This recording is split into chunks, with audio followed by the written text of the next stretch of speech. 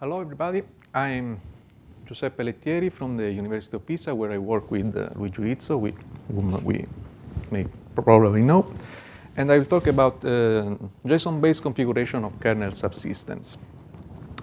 So uh, what we mean by kernel configuration, typically we want to set some global parameters in the kernel or, uh, which is more important from what I'm talking about, uh, create new objects, for example, tap devices or entire virtual machines.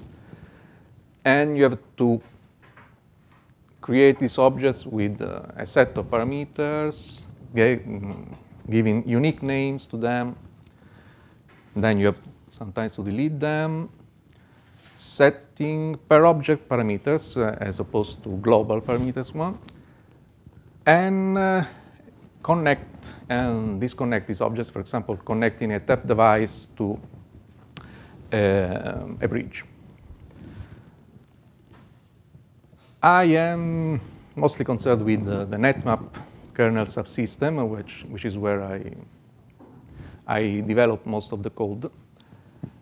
And uh, in NetMap, uh, these objects come in essentially three kinds, which is NetMap ports, and uh, memory regions and bridges. Uh, in NetMap, when you open the dev NetMap device, you have to bind a port to the device and then mmap and memory map the device. Uh, when you bind the port to the DevNetMap device, you are binding an, an kernel object, which is the NetMap port. And there are several kinds of NetMap ports. The legacy ones are the hardware ones, but there are others which are connected to a NIC. And there are others that are created on demand, such as NetMap pipes, NetMap monitors, uh, port for emulated NetMap mode, pass-through ports, and so on. And there are memory regions. Memory regions uh, need several parameters, which is the number of buffers, the number of rings, the size of the buffers, and so on. And uh, there are also, uh, there is a global memory region and a private memory regions, which are created on demand. Then there are bridges which are only created on demand. Ports need to be bound to memory regions, and ports may be connected to, to uh, bridges. So here we have all the examples of the setting of the parameters, creating objects, connecting objects, objects that it is typically found in kernel subsystems. Currently, there are several limitations in how you can uh, set up what NetMap is doing. The uh, binding between a NetMap port and the memory region is fixed by the port type. In particular, hardware ports all bind to the single global memory regions, which means that all the NetMap applications which are uh, using hardware ports will end up sharing memory whether they want it or not.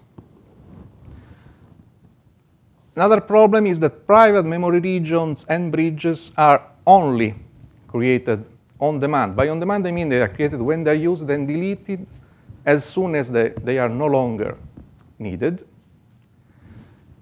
And uh, in uh, the current API, we have no nice way to set parameters for these on-demand only objects.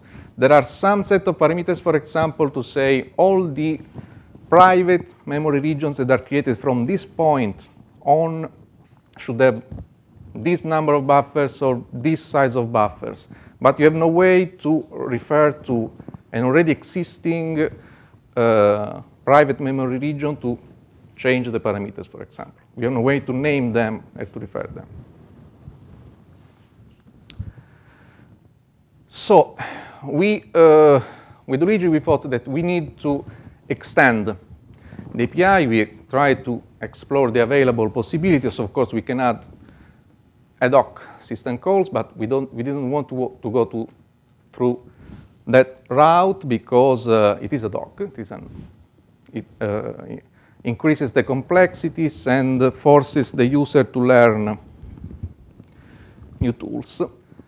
Slightly more general possibilities using I.O. controls or sys controls, of course, or using pseudo, pseudo devices or using pseudo file systems. Some are more general, some are ad hoc. But the, the problem that we uh, had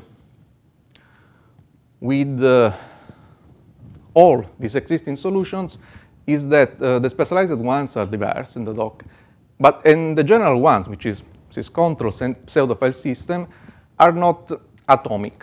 By atomic, we mean that we, there is no nice way to express the fact that a, a set of parameters needs to be set all at once, or uh, that the, uh, for the creation of an object, we need all the parameters already set before the creation of an object. There is no, no nice way to express this, this fact.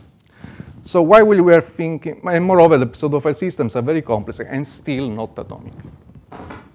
Because you have to set parameters essentially by writing in files. Each file, each file is an it's, each writing in each file is an operation by itself, independent from the others. So uh, Luigi came up with the idea, why don't we use JSON? And uh, I wasn't very convinced at the beginning, and I'm still, I still have doubts.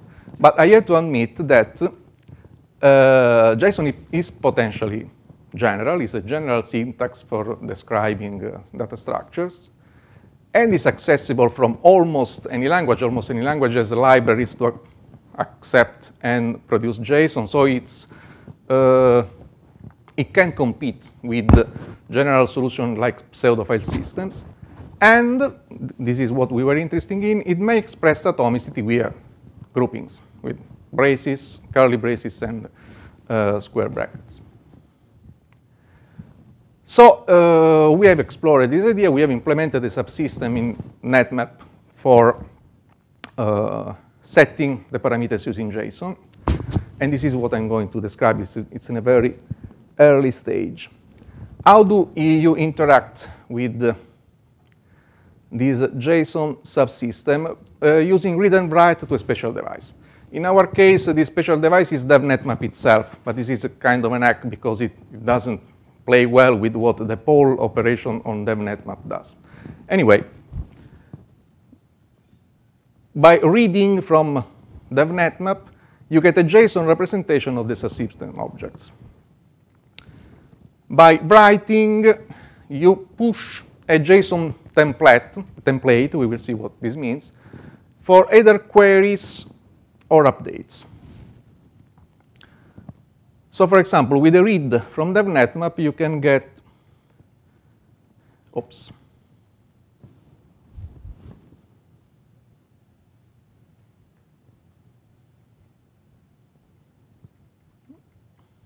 I didn't want this.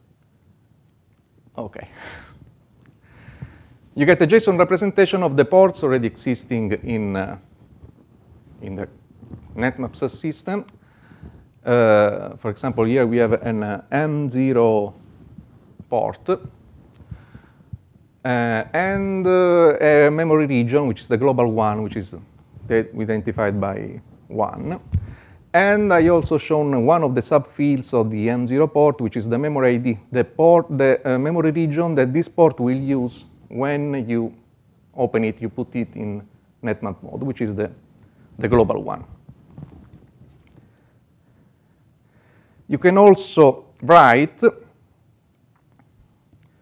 to DevNetMap using JSON syntax, for example, to change the uh, memory identifier of the M0 port, which is something which you couldn't do before. All hardware ports had to use the global memory region.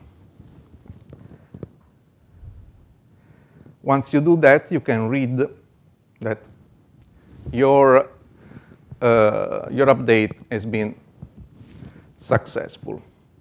So the idea is that you when you write in DevNetMap, you write uh, a subset of the objects that, are, that you can obtain when you read, and the subsystem tries to match the objects that you're mentioning, and when it sees that you are saying something different, for example, there is a, do, a 2, while in the existing place there is a 1, you want to update that value.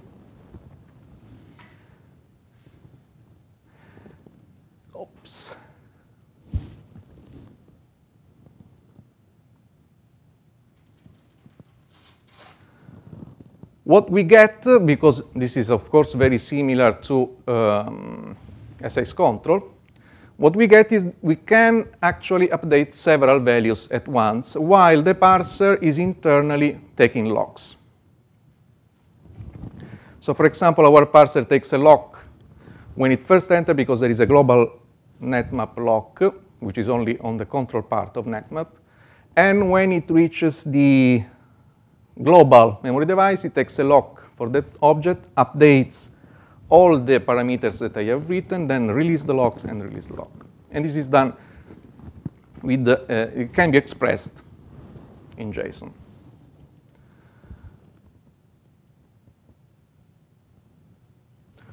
Of course, uh, this is good for programs. For humans, this is not a nice syntax, but with some slight, uh, uh by accepting some slightly modified uh, rules, it can become very similar to, for example, SIS control update. We can accept bare words. There is no need to put quotes when it's clear that you are writing a word. But I still have to remember uh, to close all the braces that I have open. But with this other syntax, I can turn, with other extension, I can turn dot x and it, it will become uh, open brace x closed or colon open brace x closed as needed so that I can write this one. And finally, I can translate numbers to strings as needed, and it becomes this, which is essentially the same as a syscontrol update. But I still get the possibility to update several uh, parameters at once. So the update that I wrote before can be written much better, much more easier in this way.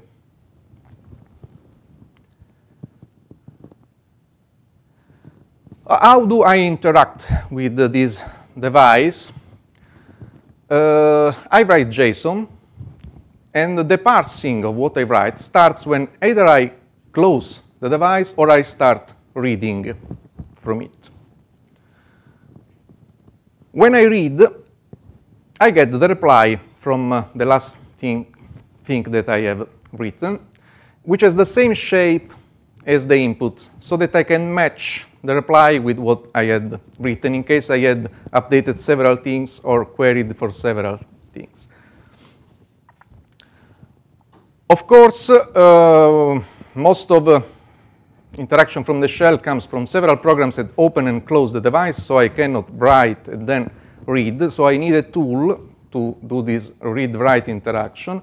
But this tool can be as simple as that. I open netmap in uh, read-write mode, then I, ready, I, I, run a first cat, which redirects its standard output to devnetmap. There is a second cat that gets the output from devnetmap. So, so this is all the tool that, that we need. With this tool available, I can query. And query is an extension. Uh, I, I, can write a string with a question mark in it. And this means that I want to know what's there.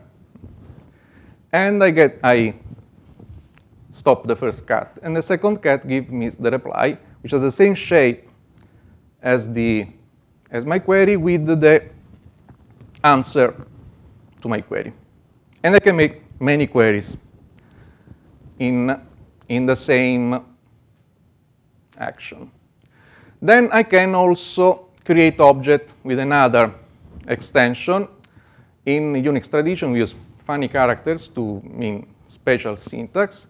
I get in a string with uh, an ampersand, and here I'm saying that I want to create a new memory region with all the parameters that follows.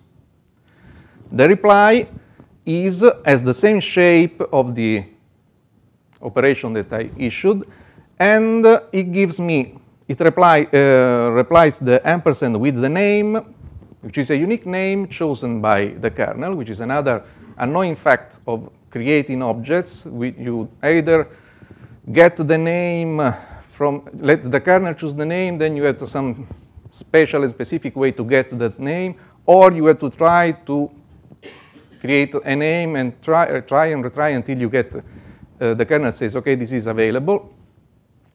Here you can let the kernel choose a name and have an easy way to retrieve the name, which is consistent with the rest of the, of the, of the protocol. And finally, I can connect object by yet another extension. I can give a name to, I can uh, assign the name that the kernel is, uh, will create to a variable, and then later refer to that variable. So here I can create a new memory region and in the same atomic operation, so nothing can go between the two operations, uh, assign the bind, the memory port M0 to that memory region. So I can leave this file in uh, on the file system and run it at boot time and always recreate the same, the same configuration.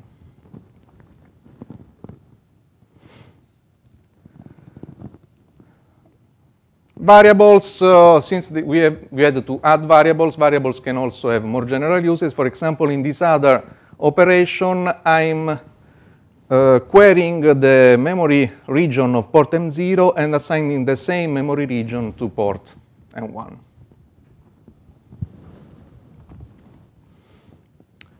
So uh, this is what we currently can do in the implementation that we've done in NetMap. I want to uh, spend a few time on the implementation because, of course, it's a bit scary to have a, a, parser, textual parser inside the kernel. Anyway, this parser is uh, very, uh, is tiny and is kind of safe. When you write JSON, you go through this parser written by Luigi, which creates an internal representation of the objects that you have written which all live in a single memory pool. They cannot have references outside of that. There cannot be reference inside the pool. This pool is then is interpreted by a set of handlers, which produce the result in the same pool. The result is pretty printed, all inside the kernel, otherwise cat wouldn't work. And then the pool is entirely disposed at the end. So nothing, nothing is left uh, at the end, nothing is left inside the kernel at the end of the, uh, this operation except for the side effects operated by the handlers.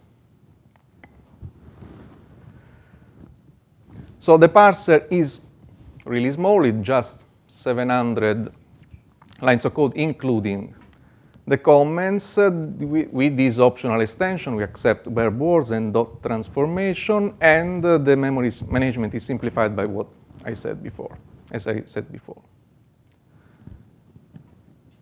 The pool where this, uh, uh, this internal representation is created is organized as, uh, as described here. There is an header. And on one side of the pool, we allocate J, JSLR descriptors and strings and number on the other, on the other end. And uh, JSLR descriptors are fixed site structures of 32 bits separated in a set of fields.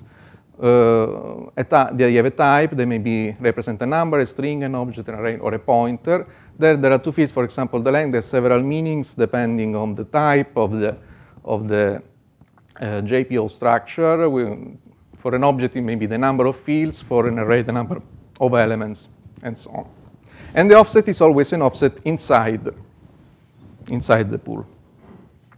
To get an idea, a representation in the pool for this um, JSON structure is the one that you can see there. There are the strings allocated from the bottom, and then a sequence of the scripture. For example, the first one says that this is an object with just one field, which is the port object. Uh, the field is a couple of descriptors, the string, and a pointer to something else. And then uh, we have uh, the object for the M0 and so on. So it's a compact representation uh, of the JSON syntax. Okay, so uh, you write to DevNetMap in this case, you get this, the, uh, what you write goes to the parser as soon as you either close the file descriptor or read from the file descriptor, and uh, the parser translates this into this internal representation, then the handler starts examining uh, what you have, uh, we have written. The handlers are organized hierarchically. There is a, a, root handler and then a set of handlers. Each handler is responsible for interpreting a sub-hierarchy of what you have written. The handlers are polymorphic. They, they have to implement, uh, for the time being, these three um, callbacks of which only the dump callback is mandatory. The interp one uh, is given a starting uh, JPO, starting descriptor, uh, applies all the updates in the hierarchy and returns a new JPO with the answer. Da oops, dump just return a JPO that describes the whole subhierarchy, and uh, bracket is called by the, sub, the, by the system when you are entering the, the hierarchy and leaving the hierarchy. This is the place where you can put the, uh, the locking and the unlocking or anything that you have to do before entering and leaving the, the, uh, the hierarchy.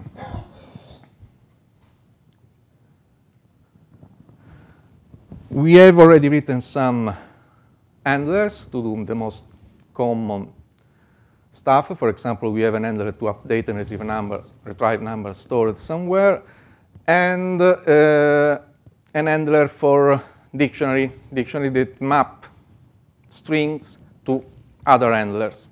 And these, when dumped, show up as JSON objects.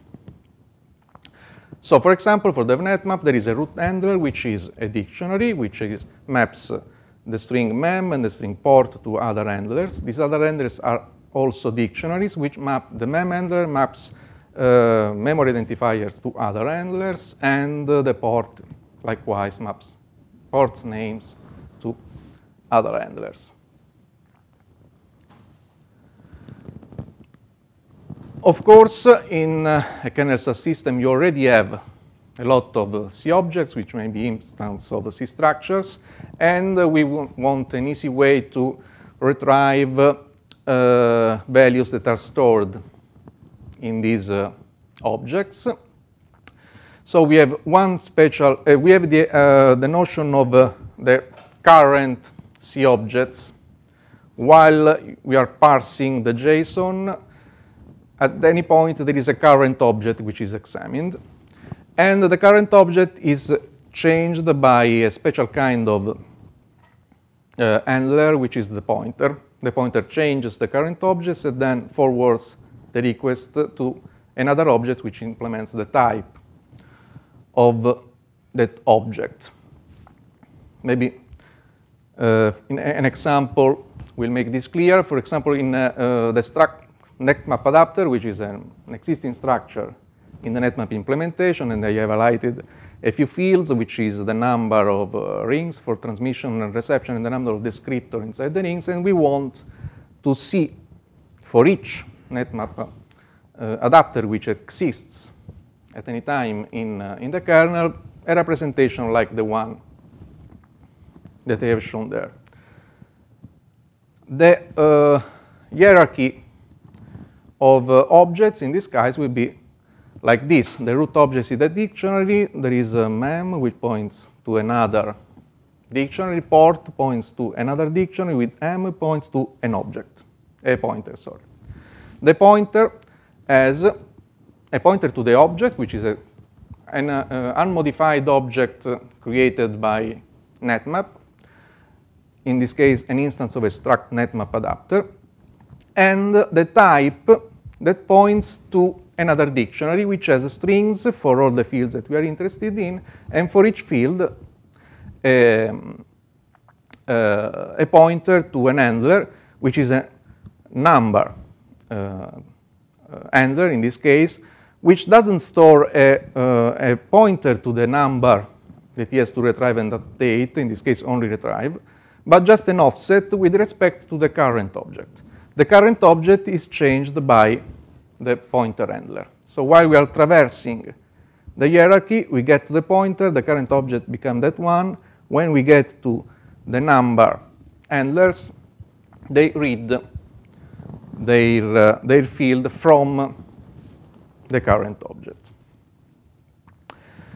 To uh, create that kind of dictionary, the dictionary that describes essentially uh, how to uh, retrieve uh, values from an existing data structure, we have created a set of uh, helper macros. So what you have to do is I'm declaring a class, which is uh, I will call port from now on, and which is a representation of a struct netmap adapter. Inside this class, I have a read-only number, uh, which in the struct netmap adapter corresponds to the field num strings, and so on.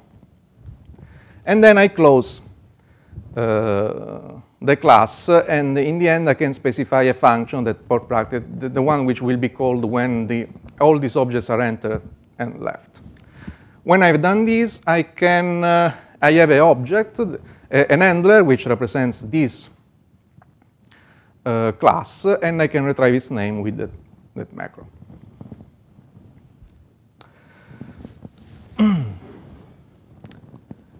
And so this is essentially what we have done. Uh, as I said, we are in, it, the work is very early. Uh, I never used the square brackets. I don't know how to actually use them. Of course, for example, here when I have list of memory devices and ports, an array would be a much better match for what we mean. But if I use an array, I don't have an easy way to refer to the element of the array that I want to uh, set or, uh, or query. Unless I also implement searches, general searches, so I can say uh, inside this array I want to search for the port whose name, which, na which has the name uh, M0. And I'm not sure if I want to do that inside the kernel. But if uh, I, I can think of no other way to use the, the array thing inside, uh, that, which is uh, allowed from JSON syntax. Okay, so this is uh, essentially all I wanted to say. If there are any questions, of course, uh, some this thing somewhere or another is going into NetMap because Luigi thinks it this is the way to go. We mm, would like to know if some other kernel subsystem may be interested in following the same, the same route or any, any questions that you may have. Yes?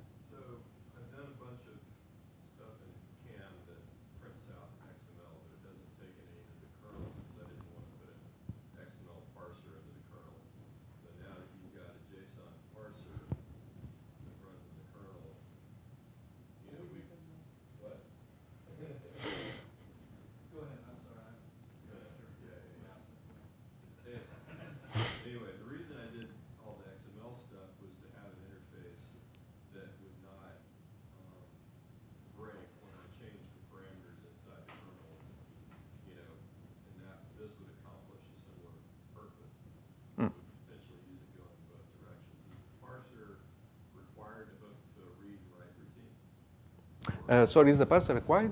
So could you hook the parser into an IO? Uh, In a library in user space, you mean something like that? Well, no, not, no, I mean, in the character driver in the kernel.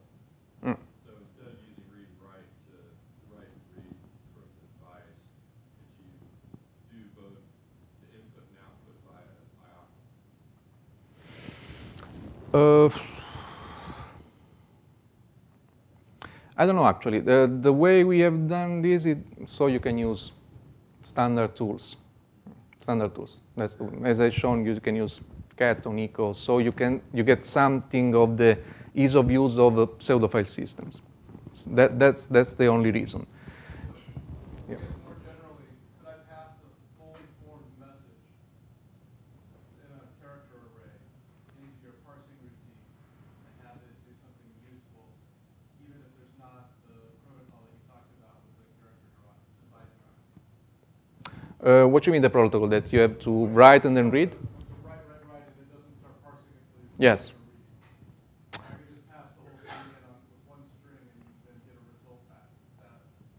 you have to start reading. If, if you're doing from a program, you can write. I, I don't want to continuously parse what you're writing until you get a, an entire object. So I only look at the output, uh, at what you're reading when you start reading or close the file descriptor. That's, that's just for ease of implementation. But from a program, you should have no problem in doing that.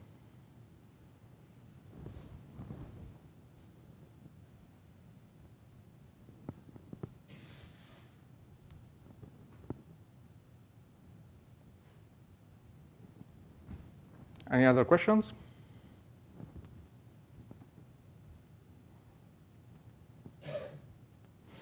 Okay. Thank you.